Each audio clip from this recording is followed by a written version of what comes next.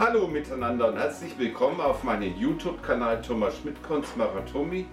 Heute am 16.06.2022 wieder aus meinem Sendestudio in Forchheim. Heute haben wir Feiertag und heute beginnt auch aber heute Mittag der Komiksalon in Erlangen. Den möchte ich heute auch noch besuchen. Ich hoffe, es wird nicht ganz so heiß. Aber jetzt ist nicht der Komiksalon das große Thema in diesem Film, sondern eine wirklich interessante Schatzkiste voller Münzen. Alle möglichen Münzen, Kleinmünzen und auch ein paar Silbermünzen und und ich habe es noch nicht angeguckt, wir schauen es uns dann nachher live an, also noch nicht richtig angeguckt. Also das glaube ich wird richtig spannend, das habe ich bei Ebay neulich mit Porto für 87 Euro ersteigert. Wir werden dann wieder den ungefähren Wert bestimmen und aufschreiben. Mal schauen, ob, also wie man schon bei der Briefmarkenschatzsuche kennt, ob sich der Einkauf rentiert hat. Ich habe auch mal, falls Silbermünzen dabei sind, auch noch eine Waage dabei. Ja, aber bevor wir damit loslegen, möchte ich euch noch bitten, meinen YouTube-Kanal Thomas Schmidtkunst Maratomi zu abonnieren, falls ihr das ohnehin noch nicht getan habt. Dazu den Abonnieren-Button rechts unten anklicken. Und wenn ihr immer noch die Kling Klingeling mit anklickt, dann bekommt ihr auch meine neuesten Filme mit. Also die, diese schöne Kuhglocke, die ich da mal neulich irgendwo erworben habe, die hat sich schon für die Filme rentiert. Ja, ich will gar nicht lange um den heißen Brei reden. Gehen wir doch gleich dann nachher in Schatzsuche und ihr seht hier, es massig für 87 Euro massig Ware dabei. Das wird jetzt richtig spannend. Natürlich können wir da jetzt nicht auf jedes Detail eingehen. Da, da glänzt sogar silbern und dann glänzt golden. Ich, es wird kein echtes Gold sein. So viel wage ich schon zu sagen. Hier, das sieht auch silbern aus. Das sind schöne Alu-Chips sozusagen. Und dann haben wir hier noch so ganz alte Münzen vom Deutschen Reich. Und es sind auch noch ein paar Nummis, Briefe vorhanden. Also das wird richtig spannend. Freut euch mit mir, das wird eine richtig interessante Schatzsuche. Ja, so wie es aussieht, scheinen hier auch ein paar echte Silbermünzen dabei zu sein. Die machen wir doch am Schluss, damit es ein bisschen spannender wird das Ganze. Aber wir beginnen auch gleich mal mit ein paar Silbermünzen. Und zwar habe ich hier, es sind nämlich auch ein paar Nummisbriefe dabei. Ist jetzt nicht ganz so spannend von, von den Sammlerwerten hier bei diesen Münzen, die ich euch jetzt gleich zeige aber sie sind halt aus Silber und das ist schon mal sehr interessant. Und man muss ja bedenken, ich habe für diesen ganzen riesigen Posten mit Porto ja auch nur 87 Euro gezahlt. Ja, was sehen wir hier? Sehen wir Nummisbriefe und zwar mit den 10 D-Mark-Münzen, mit den ersten 10 D-Mark-Münzen der Bundesrepublik Deutschland zu den Olympischen Spielen 1972 in München. Die wurden in riesigen Auflagen geprägt und dazu gab es dann auch noch hier diese Nummisbriefe, die deutlich später herausgegeben wurden. Hier steht zwar Erstausgabe 6.2.72 für den Sport, aber da oben sehen wir eine wesentlich neuere Marke von 1992. Das war wahrscheinlich, gab man diese Nummisbriefe zum 20-jährigen Jubiläum der Olympischen Spiele als ein Gedenken an die Olympischen Spiele in München heraus vor 20 Jahren. Diese Münzen bestehen zu 9,7 Gramm aus Silber, Feingewicht etwa und sie, und sie wurden in riesigen Auflagen geprägt. Also der Sammlerwert hält sich dadurch sehr in Grenzen. Im Prinzip ist jetzt der Wert dieser Münzen nach unten durch den Nominalwert begrenzt und durch den Silberwert. Der Silberwert ist momentan, liegt momentan höher. Und da möchte ich so einen Brief mit etwa 9 Euro oder 10 Euro bewerten. Sagen wir mal 10 Euro, weil das leicht äh, zu rechnen ist. Ich habe mal bei MA-Shops reingeguckt, wann, wo diese 10 D-Mark-Münzen alleine, also ohne Brief, beginnen. Also so bei 8, 9 Euro muss man schon mindestens rechnen. Ich rechne jetzt aber mal 10 Euro pro Brief, damit das Ganze einfacher wird. Und wir haben hier sage und schreibe sechs dieser Briefe. Hier sieht man eine andere Variante dieser Olympi äh, Sonderprägung zu den Olympischen Spielen. Hier praktisch mit dem Stadium ist ein bisschen golden angelaufen, ein bisschen golden oxidiert, aber das ist kein Gold, sondern Silber. Also insgesamt sind es sechs Stück. Hier noch 100 Jahre Olympisches Komitee, sechs Stück. Können wir schon 60 Euro rechnen. Im Prinzip ist fast die Kiste dann schon fast bezahlt.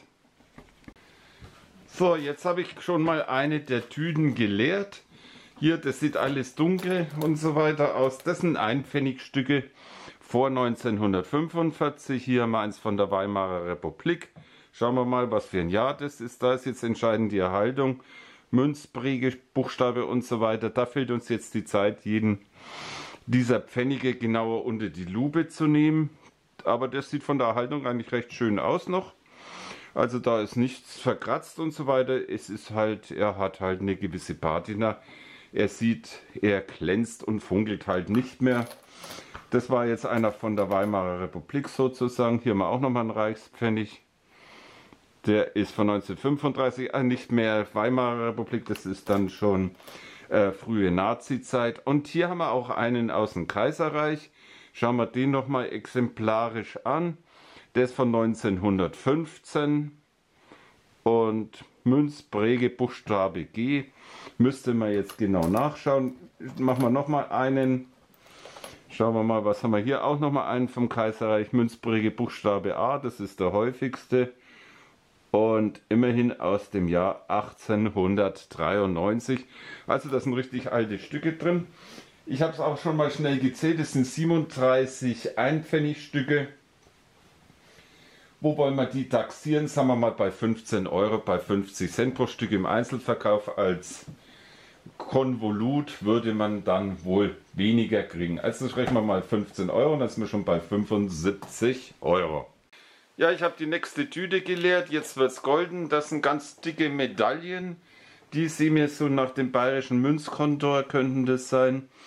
Deutschland, Einigkeit und Recht und Freiheit. Schön vergoldet das Ganze, also echtes Gold ist es sicherlich nicht, weil dann wäre es natürlich ein Hammer, wenn sowas aus Gold beim Gewicht, wir können es mal wiegen, ich habe hier so eine Waage, da sehen wir es dann gleich, weil das Gewicht zu gering ist, weil Gold wäre wahrscheinlich deutlich schwerer. Hier 35 Gramm wiegt das Ganze. Ich denke, das ist wahrscheinlich so eine Kupferlegierung, die vergoldet ist. 35 Gramm. In der Größe wäre das mindestens doppelt oder ja, da hätten wir wahrscheinlich ein Gewicht von 70, 80 Gramm, wenn das pures Gold wäre.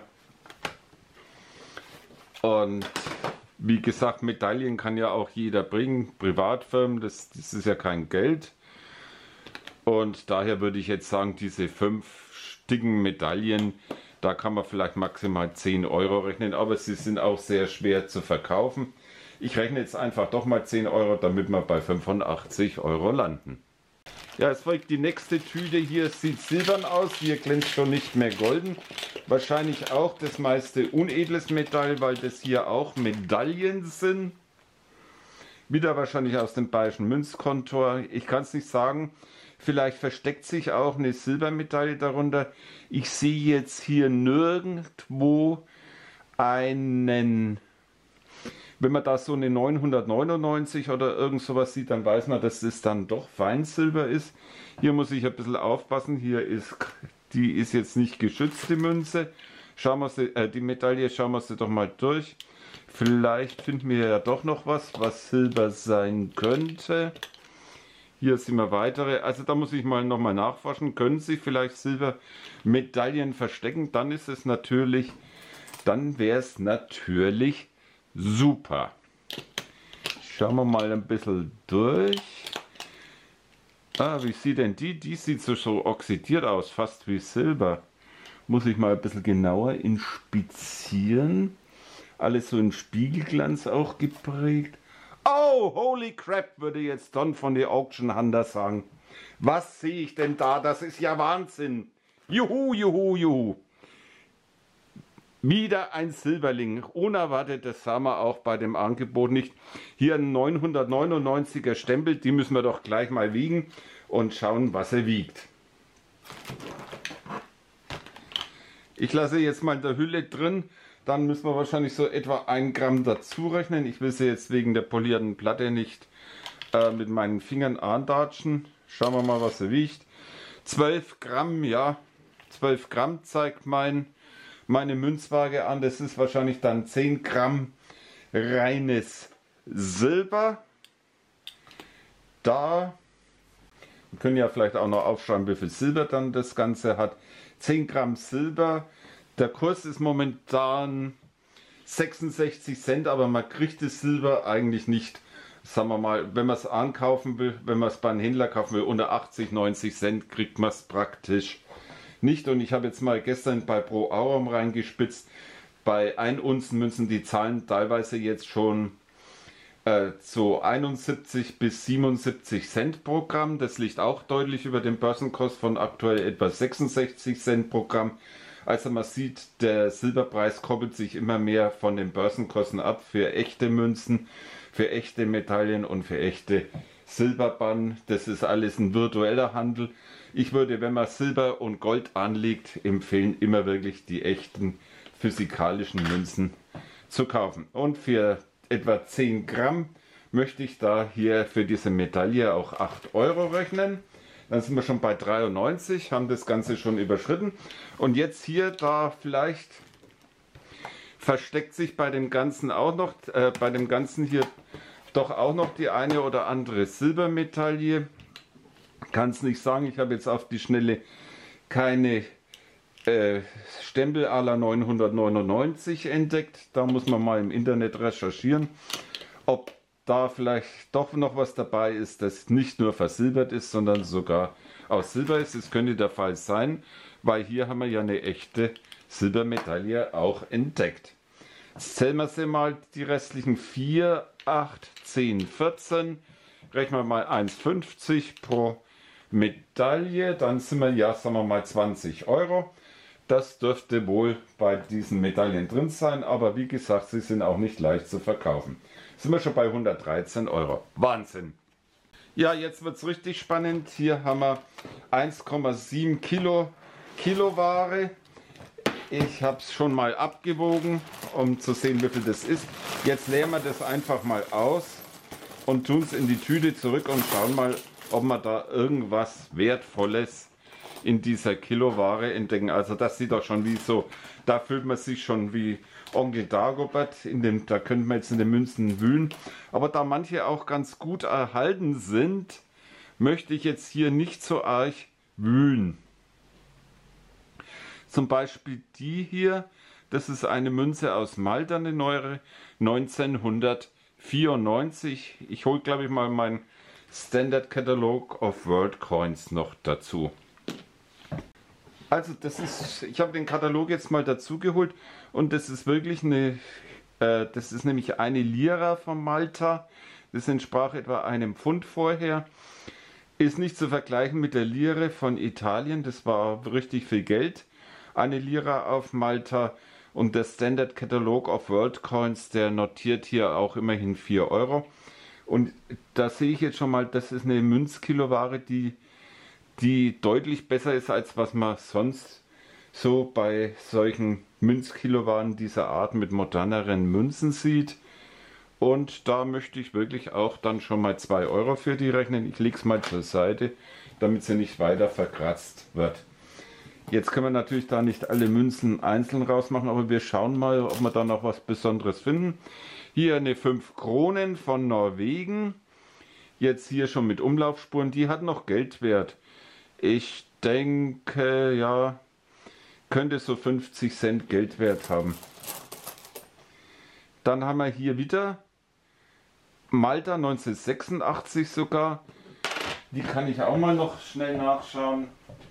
Die notiert in äh, vorzüglich auch 4, 4 äh, Dollar. Dann haben wir hier eine weitere Malta. Also die sind richtig gut. Da sind richtig schöne Sachen dabei. Hier haben wir eine was ist das, 50 Endeavour, 50 Cent von Neuseeland von 1967. Sieht auch gut aus, ist jetzt nicht so toll erhalten. Hier irgendwie 5 Dollar von Singapur, soweit ich jetzt sehe. Ist das Singapur? Nein, Hongkong 5 Dollar ist auch nicht schlecht. Also da ist einiges drin, das interessant sein könnte. Hier ein Gulden von den Niederlanden. Dann hier sogar irgendwelche Münzen verpackt. Also das ist, das ist keine schlechte Kiloware, mit der kann man wirklich was anfangen. Da kann man noch einzelne Münzen herauspicken und für den Einzelverkauf nutzen und den Rest kann man vielleicht wieder als Kiloware verkaufen. Da von Gambia 50 Putus, die sieht auch noch super aus.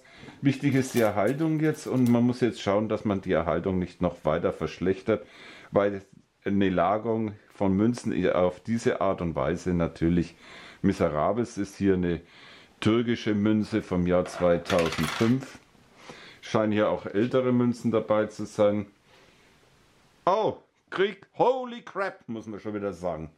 Kriegsnotgeld von 1919, also da sind richtig interessante Sachen dabei von der Stadt Hersfeld, also es sind auch alte Sachen dabei.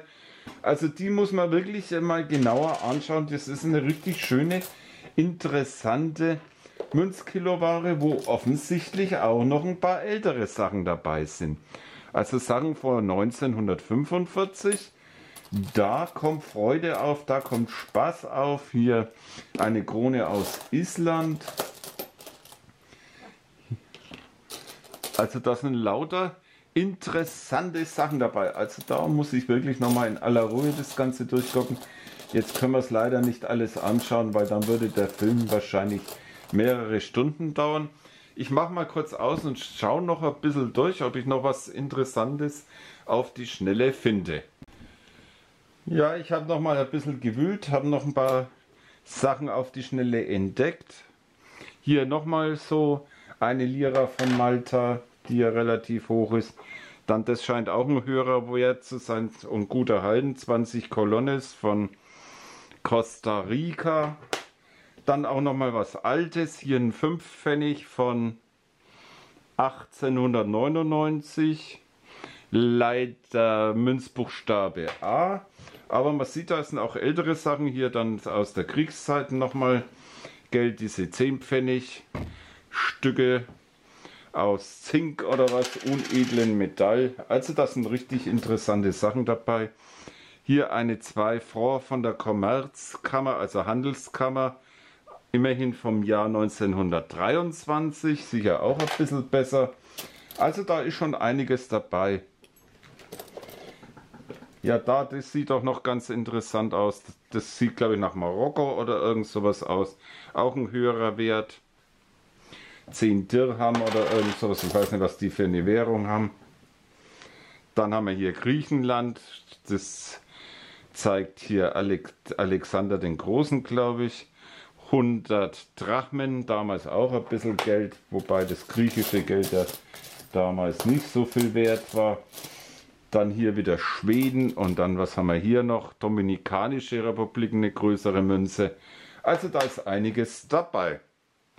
Ich werde jetzt mal die Kamera vom Stativ abmontieren und dann zeige ich euch noch mal ein bisschen ein paar Nahaufnahmen. Ja, hier nochmal diese interessante und sehr abwechslungsreiche Münzkiloware. Jetzt in Nahaufnahme, da haben wir hier auch noch mal eine Großmünze. Was ist das? Das ist wieder Australien. 50 Cent, irgend so ein Sonderprägung. Ja, also man sieht, das sind doch schöne Sachen dabei. Hier sind wir ja auch noch mal. Ah, da schaut ein Hakenkreuz her. Deutsches Reich. Ein Zweipfennigstück, das legen wir hier auch mal zur Seite. Hier habe ich mal schon die besseren ein bisschen zur Seite gelegt. Und das muss ich nachher dann mal ein bisschen aufräumen und sortieren. Weil hier sind einige recht gut erhalten noch und dann möchte ich jetzt nicht, dass die noch schlechter von der Erhaltung werden, sich dadurch diese falsche Lagerung dann verkratzt werden und so weiter. Hier mal auch noch eine südamerikanische Münze. Was ist das? Venezuela. 500 Bolivar. Da, naja, da war Inflation. Da ist noch irgendwas Altes dabei. Also da kann man sicher noch das eine oder andere finden in diesen 1,7 Kilo.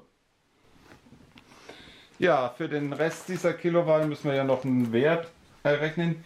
Ja, so wenn es so eine normale, einfache Kiloware wäre, kann man bei 1,7 pro Kilo vielleicht so 10 Euro rechnen oder auch ein bisschen weniger.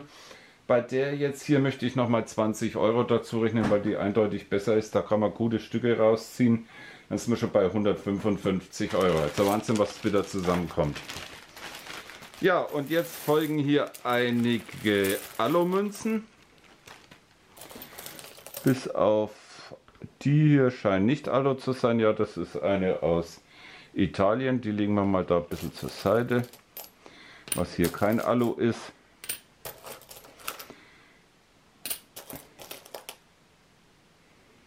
Was haben wir hier?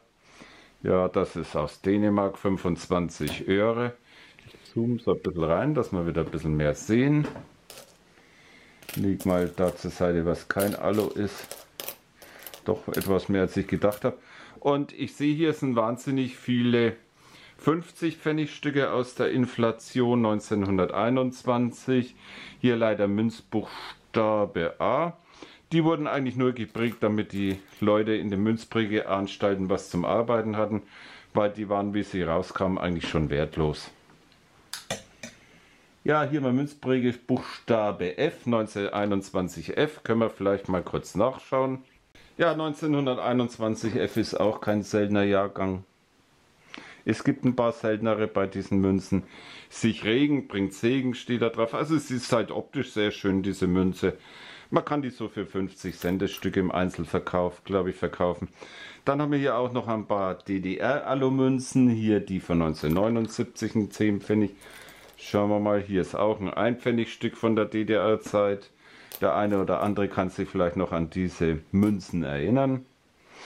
Oh, dann haben wir hier eine ältere DDR. Sehe ich gerade, die könnte... Ah, die ist leider kaputt. Das war eine von 1953. Die wären eigentlich interessanter, aber die ist absolut beschädigt. Hier haben wir eine neue von der DDR. Dann haben wir hier auch eine aus dem Ersten Weltkrieg, nein, aus dem Zweiten Weltkrieg von 1944. Also ich muss natürlich auch hier jetzt mal so präsentieren, dass man es auch sieht. Ein Einpfennigstück so, glaube so sieht man es dann besser. Immer ein bisschen schwer, das zu zeigen. Also das ist, sieht auch ganz interessant aus. Hier man 10 Filler. Ist das ein alter? Ja, das ist ein alter aus der K&K Monarchie 1915. Kann man auch so für einen Euro verkaufen. Was haben wir denn hier? Ach, das ist eine aus Irland. Ein Penny oder irgend sowas. Ja, und dann haben wir hier eine ältere DDR 1950. Das ist wieder interessant. Leider nicht so ganz so super erhalten. Also der hier noch ein 2 Stück, auch aus Aluminium von der DDR. Also da kommt auch noch ein bisschen was zusammen. Was wollen wir da rechnen, ist jetzt ein bisschen schwer. Rechnen wir mal 15 Euro für das Ganze hier. Dann sind wir schon bei 170 Euro. Also Wahnsinn, was da wieder zusammenkommt. Ja, jetzt kommen wir noch zu den letzten Münzen, die hier etwas ordentlicher äh, eingeordnet waren. Schauen wir es uns mal im Einzelnen an. Hier haben wir russische Münzen, unter anderem ein Rubel links. So sind da auch ältere dabei. Also eine richtig alte Vorkriegsware ist da glaube ich nicht dabei. Ne, es geht bis zu die 60er Jahre zurück. Rechnen wir mal 3 Euro für das Ganze hier, dann sind wir bei 173 Euro. Dann kommen hier zwei Gedenkmünzen, Nachprägungen aus der DDR-Zeit von Münzen aus dem Jahr 19, 1500 herum, kostete mal einem DDR-Markt das Ganze.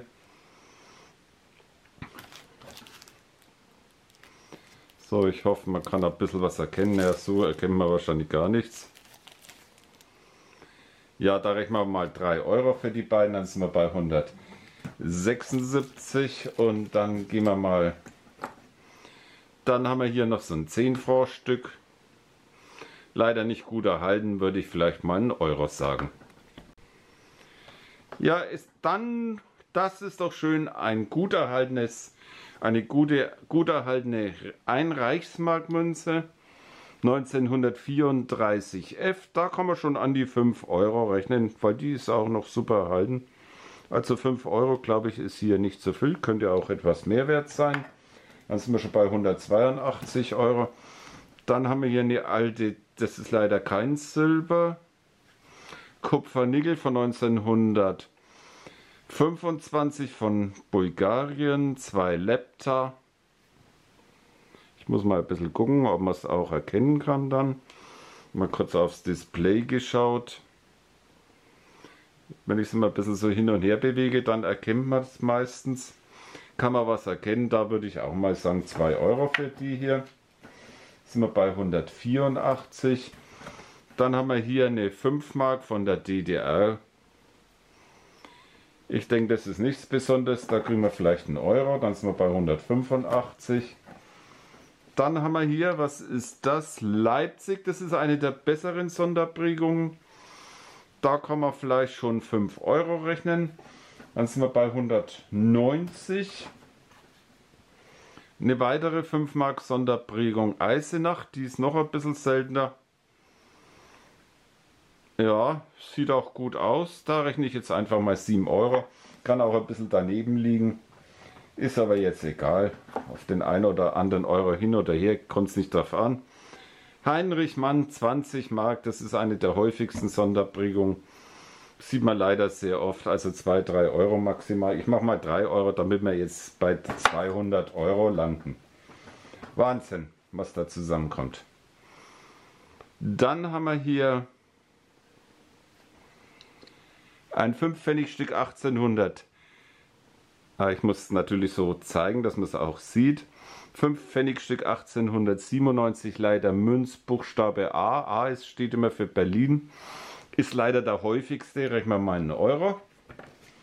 Dann sind wir bei 201. Es geht weiter. Ja, dann haben wir einen Hindenburg 5er. Was ist das für ein Jahrgang? Muss ich jetzt mal gucken. 1938. Müssen wir mal nochmal den Münzbuchstabe immerhin D. Hat 5 Gramm Silber, würde ich mal sagen, sollte man mal 5 Euro rechnen. Die Erhaltung lässt etwas zu wünschen übrig. Wenn man die in ein Münzbad legt, dann kann man die wieder auf Hochglanz bringen. Also die Oxidation ist jetzt nicht so, weil die sieht jetzt hier die Patina hier nicht schön aus. Schöne Patina sollte man nicht entfernen, aber das ist eher dann keine schöne Patina. Also ich mal nochmal 5 Euro, sind wir bei 206. Dann hier, die schon stark oxidiert, die Münze, hat 12,5 Gramm Silber.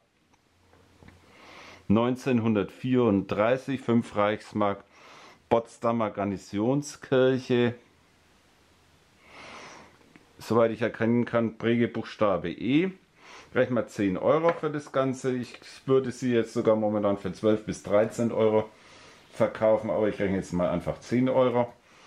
Damit ist in etwa der Silberwert abgedeckt. Dann haben wir hier einen Hindenburg 5er, auch etwas oxidiert, 1935. Eigentlich gar nicht so schlecht erhalten. Leider kein J, sondern ein A. Rechnen wir auch 10 Euro, dann sind wir schon bei 226, hat also auch 12,5 Gramm Silber außerdem. Hier ein weiterer Hindenburg 5er mit dem hässlichen Nazi-Zeichen hinten drauf. Weiß, wenn sind, äh, kriegt man für die mit den Nazi-Zeichen mehr als für die ohne Nazi-Zeichen. Hier sieht man mal die Unterschiede. Adler mit Nazi-Zeichen, Adler ohne Nazi-Zeichen. Was ist das für ein Jahr? 1938. A auch. Kann man auch 10 Euro rechnen. Das sind bei 236. Dann haben wir hier die Potsdamer Garnisonskirche. Interessant hier mit dem Datum. Das ist ein bisschen Mehrwert. Wenn da hier so ein, wenn da hier steht 3. März 1933, dann ist es eine Sonderprägung im Prinzip. Und dann interessanter 1934 A leider wieder. Ist jetzt in dem Fall wahrscheinlich auch nicht mehr als 10 Euro wert. Ich sag mal 11 Euro, dann sind wir bei 247 Euro. Also das, das war ja ein richtig guter Kauf. Bei Münzen ist es sehr selten machbar, so ein Greibach zu machen. Speziell wenn da noch Silbermünzen und so weiter dabei sind. Normalerweise wird es viel höher gesteigert. Also das war glaube ich ein Glücksgriff. Hier nochmal ein 5 Reichsmark Hindenburg mit 12,5 12 Gramm Silber. Jetzt kriege ich schon gar nicht mehr raus. Was ist da für ein Münzbuchstabe? Ah, es ist glaube ich G. Rechnen wir aber auch mal 10 Euro, dann sind wir bei 257. Und, ach Gott, da ist ja nochmal eine dabei, nochmal eine Potsdamer Garnisonskirche. Das ist jetzt auch dann die letzte Münze. Dann ist der Film natürlich auch schon wieder mal lang genug. Von 1935, ebenfalls 12,5 Gramm Silber. Münzbuchstabe A, also nichts Besonderes vom Sammlerwert her. Hier geht es rein um den Silberwert und die sind recht beliebt als Silberanlage, diese Münzen. Hindenburg und Potsdamer Garnisonskirche bestehen zu 90% aus Silber und das Feingewicht ist 12,5 Gramm. Da rechnen wir auch nochmal 10 Euro und landen dann bei 267 Euro. Also Wahnsinn, was da wieder alles zusammengekommen ist. Also das war ein richtig guter Kauf. Gerade so bei Münzen hat man ja eine viel kleinere Spanne und da ist es natürlich super. Ja, das war eine wunderschön, das war ein, das ist ein wunderschöner Münzposten und der war total gut jetzt auch für einen Film geeignet. Es war spannend. Gerade die Kiloware gefiel mir auch sehr gut, weil es da schöne, interessante Überraschungen noch drin waren, wie diese 1 Lira von Malta und auch ältere Sachen wie Kriegsnotgeld und dergleichen. Also es war richtig interessant. Bei den Silbermünzen müssen noch zu sagen, ich kam auf wie viel Gramm Silber? Äh, etwa 145 Gramm Silber. Also das war, also das war einfach ein super Kauf. Da haben die eBay-Käufer wohl etwas geschlafen. Und wahrscheinlich war der Verkäufer auch nicht so ganz so glücklich über das Ergebnis. Aber was sage ich immer, wenn ich was äh, auch nicht so toll verkaufe, was weg ist, ist weg. Mal das Bargeld und kann da das wieder reinvestieren. Ja, dann bedanke ich mich für eure Aufmerksamkeit. Wenn euch der Film ge genauso gut gefallen hat wie mir diese, dieser Münzbossen, dann bitte like den mit erhobenem Daumen. Ich freue mich über eure Kommentare. Fragen versuche ich wie immer zu beantworten und natürlich ganz besonders freue ich mich über jeden neuen Abonnenten. Da rufe ich dann Juhu, Juhu, Juhu, Juhu. Ja, dann genießt den Feiertag. Wahrscheinlich, wenn der Film online geht, ist der Feiertag auch schon wieder rum. Aber egal. Dann genießt die Tage danach das schöne Wetter, das sommerliche Wetter. Am Wochenende soll es ja jetzt mal richtig heiß werden. Schon fast wieder zu heiß. Aber egal, das absolut ideale Wetter gibt es sowieso nicht. Und dann eine, wünsche ich euch eine schöne Zeit und sage auf Wiedersehen. Bis zum nächsten Mal auf meinem YouTube-Kanal Thomas Schmidtkranz. Auf Wiedersehen!